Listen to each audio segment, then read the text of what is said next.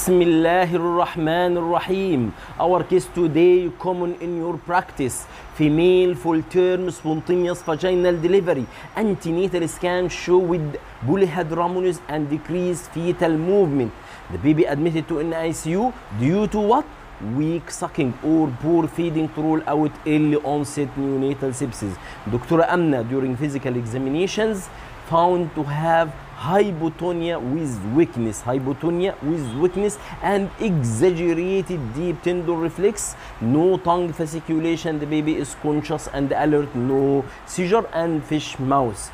So the assessment and evaluation floppy infant for workup most probably it's upper motor neuron lesion or central cause. So what is the plan of the care so you have to ask yourself three questions to diagnose this patient. The first question how to diagnose floppy infant? The second question it is central or peripheral like neuromuscular? And what is the cause? The cause it will depend on its central cause or neuromuscular cause. So need some work up to differentiate between the central and neuromuscular or peripheral.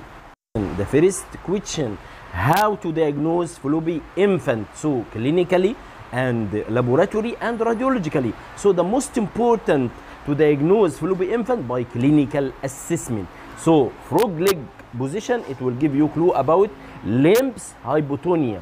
Curved trunk on the ventral suspension it will give you clue about the trunk hypotonia. Head leg would, will give you clue about neck muscle hypotonia so frog leg position in supine position the limb are abducted and slightly flexed and simulating frog legs.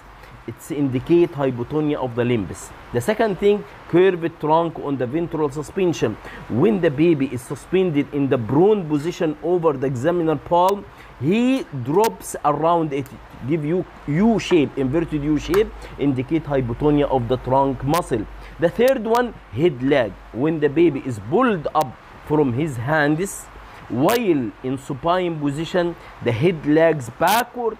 This indicate hypotonia of the neck muscle and the question the second question is it central or neuromuscular or peripheral? Depend on what? Depend on deep tender reflexes and mental development. So central causes or upper motor neuron are characterized by normal or exaggerated deep tendon reflex and mental retardation is common and recurrent convulsion may also be present.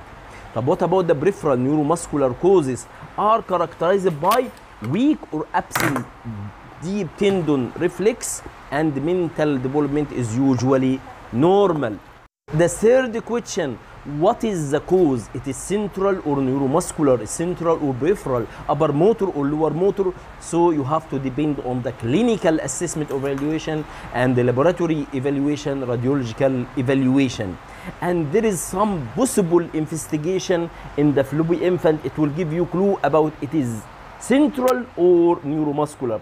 In suspected central disease you have to do ct scan of the head. Why? May reveal brain atrophy or cerebellar anomalies or degenerative disease.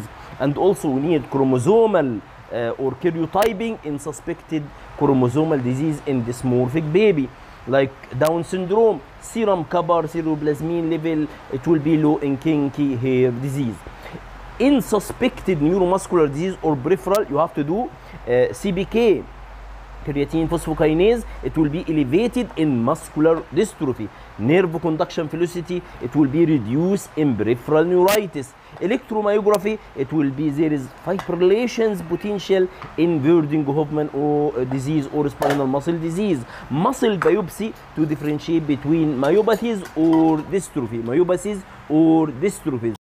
Summary, in summary, key points, how to diagnose floppy infant, frog leg position, clinically, frog leg position, curved trunk on ventral suspension, and head lag. طب it is central or neuromuscular depend on what? Deep tender reflex and mental development. Central it will be exaggerated or normal deep tender reflex and mental retardation. Neuromuscular or peripheral it will be weak or absent tender reflex and uh, tongue fasciculation and mental development it will be normal what is the cause central or peripheral depend on the clinical assessment and laboratory and radiological and you have to do some investigation if you suspect central you have to do ct chromosome and serum cover or cerebroplasmin if suspected neuromuscular or peripheral you have to do cbk nerve conduction velocity electromyography and muscle biopsy شكرا سلام عليكم